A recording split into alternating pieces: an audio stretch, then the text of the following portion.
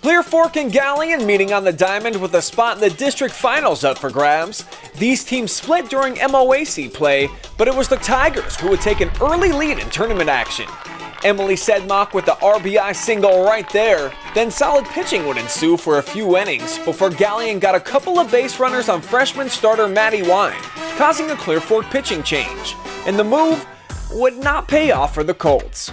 Five Tigers would cross home plate without reliever Matty Poor recording a single out. Here's a 2 RBI double from Gabby Kaple.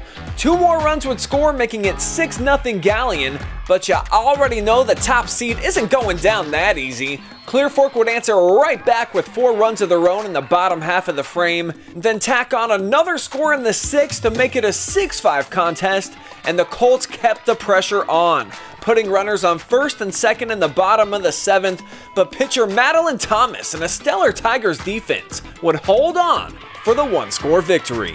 What can you say about the poise of your team when Clear Fork came back? They had four runs and then another one uh, that you were able to hold them off. Yeah, I think we were still, we you know, we try to stay composed, try to stay within ourselves. Just you know, don't want to try to make plays that we're not, you know, we're not capable of doing. We come in here against a really strong Clear Fork team. Uh, they're well coached.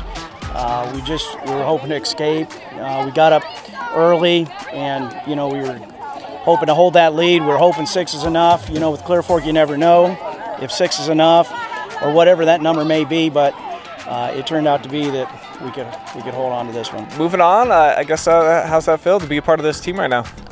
I'm very blessed to have this team. You know, um, everybody gets along, and it's been a good it's been a good season. Galion now advances to their second straight district final, where they'll face second-seeded Crestview for the Lexington Championship.